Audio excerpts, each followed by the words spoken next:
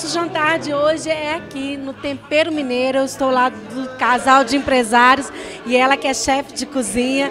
Kelly Cruz e Claudinei Cruz. Claudinei, vamos falar, como é que é para vocês hoje receber vários mineiros? Aliás, vocês são mineiros, né?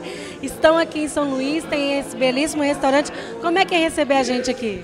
Olha, é uma satisfação muito grande, né? Primeiro que os próximos mineiros vão dar o aval da nossa do nosso tempero, isso é muito importante, pelo jeito já gostaram. Então é uma felicidade muito grande, uma satisfação muito grande nossa receber os nossos conterrâneos aqui. Kelly, para você, hoje só tem top de linha aqui, né? Gente antenado, que sabe tudo da gastronomia. E você preparou um jantar especial. Isso, foi preparado um cardápio todo especial. E com muita honra eu recebo aqui a dona Lucinha, né? Que é minha mestra da cozinha, da cozinha mineira. E fico muito feliz de receber meus conterrâneos nessa cidade onde a gente tem desenvolvido a culinária mineira com tanto amor e carinho, mantendo as tradições mesmo, o jeito de, de fazer a comida, o jeito de servir, a nomenclatura de cada prato, o estilo de se comer. E estamos aí felizes em receber todos vocês aqui. São 32 anos de tradição. Ele que é mineiríssimo, também tem um restaurante que é o top de linha em Belo Horizonte. Eu estou falando do Chico da Cafu, meu amigo Muraí Caetano. Muraí, hoje um presente estar aqui. Você, mais do que ninguém, conhece bem da comida mineira. E hoje nós estamos no restaurante Tempero Mineiro. Olha, é, é o segundo ano, né, da feijoada do Maranhão de São Luís. É que recebendo os amigos mineiros aqui em São Luís, aqui do Tempero Mineiro, com a grande felicidade de encontrar aqui os mesmos pratos que nós tanto festejamos em Minas Gerais. Olha quanta honra que eu tenho agora. Eu estou ao lado de Alzinha Nunes, ela é que é do restaurante Dona Lucinha, a Neto. Só que tem várias novidades aqui pra gente, porque ela é top de linha, viu? Conhece bem da culinária do mundo. Vamos falar desse trabalho? Vamos, é um prazer estar no seu programa. Em nome da minha mãe, Dona Lucinha, eu agradeço a oportunidade de estar podendo conhecer essa turma de Minas Gerais maravilhosa que é a primeira vez que eu viajo com todos vocês. E eu represento a Dona Lucinha de São Paulo. A gente tem um espaço de convenções lá, onde eu faço um café da manhã bem rural, bem mineiro, e faço coffee break e eventos mineiros também. É, eu faço parte da associação internacional que chama ACLA, Academia de Culinária das Américas. Sou a diretora, a única diretora do Brasil, mulher. Que luxo! E sou também diretora da Aregala Brasil, que é uma associação internacional também. E por conta disso eu represento a cozinha mineira, geralmente dois, dois meses ou de mês em mês, nos países da América Latina e da América do Norte. Levando a nossa culinária, mostrando como é que funciona. É sempre eu faço a comida mineira. Uhum. Porque na verdade quando eu viajo para fora eles não sabem o que é Minas Gerais. Eles sabem que eu faço cozinha do Brasil. Uhum. Mas eu consegui com a governadora Anastasia, através da Secretaria de Turismo de Minas Gerais, mandar uns filmes para mim. Então eu levo o pendrive com os filmes de toda Minas Gerais. Um resumo, eu começo minhas aulas com um resumo de Minas Gerais, do artesanato, da culinária, das cidades históricas, das montanhas, da natureza.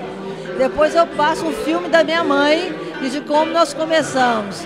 Aí depois eu dou aula e faço sempre um festival de comida mineira. Para mim, foi como se esse casal fosse meus filhos e eu quero tomar como filhos para eu protegê-los em oração.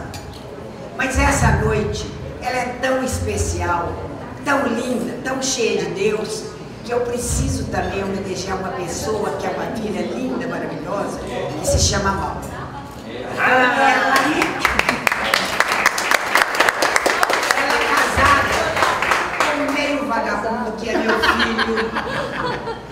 E que eu, se ele fizer alguma coisa com ele, né? porque eu observo tudo que ele faz, e se ele fizer alguma coisa errada, ele tem que acertar comigo.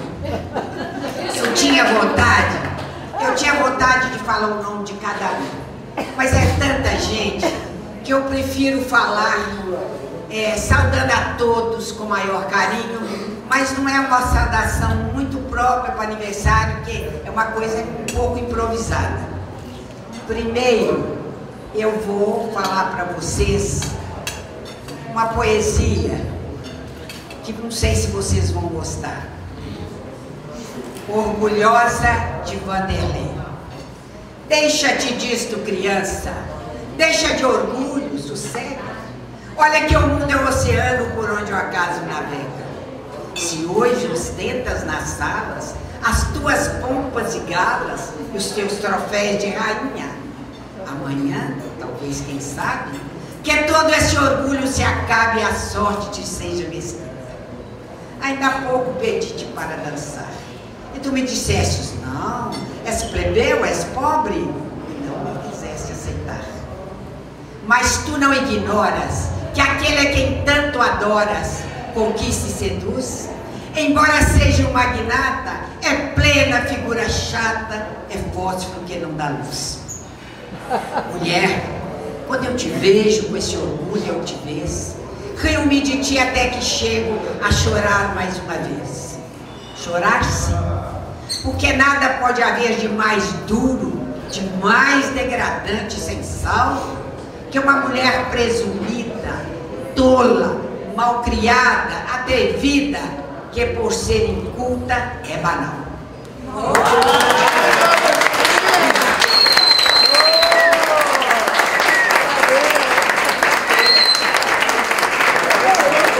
Isso é muito bacana, né?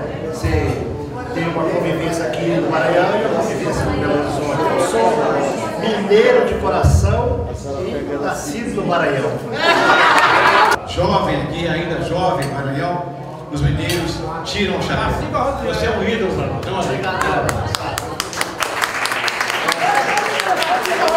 que nós recebemos todos vocês, conterrâneos, irmãos, né, os nossos amigos aqui do Maranhão. Uma parte do sonho realizado, nunca esperava realizar um restaurante, realizei uma parte do sonho, a outra hoje está sendo realizada com a presença da minha mestra, Dona Lucinha. Prazer imenso esse presente que Deus me deu hoje. Vou ter que agradecer durante todos os dias em oração.